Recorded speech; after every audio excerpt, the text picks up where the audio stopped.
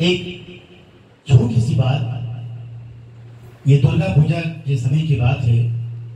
हमारे हिंदू धर्म में एक मान्यता है कि अष्टमी या नवमी में माँ दुर्गा से किसी भी तरह का हम मन्नत मांगते हैं तो माँ दुर्गा उसे पूरा कर देती है। इसी उद्देश्य से अमिताभ बच्चन जी माँ दुर्गा की प्रतिमा के पास खड़े हो गए और एक मन्नत मांगने गए। वो मन्नत अपने लिए नहीं, बल्कि अपने बेटे अभिषेक के लिए गए थे। उन्होंने एक शो किया, कौन बनेगा करोड़पति?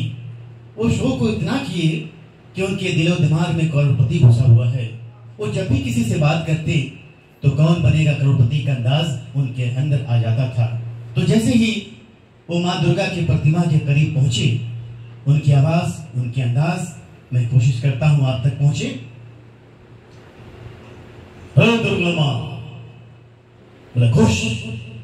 दुर्गा माँ मैंने तुमसे आज तक कुछ नहीं मांगा, लेकिन आज आज माँगता हूँ। दुर्गा माँ, तुम्हारी दुश्मनी मुझसे अभिषेक से नहीं। अभिषेक को बीच मत दुर्गा माँ, तुम्हारी दुश्मनी अभिषेक से है तो अभिषेक को क्या तुम छोड़ दोगी? मानो क्यों? आई दुर्गा माँ, अगर अभिषेक की एक भेंट हो गई ना तो मैं तुम्हें जो चाहना मैं तुम्हें दूँगा।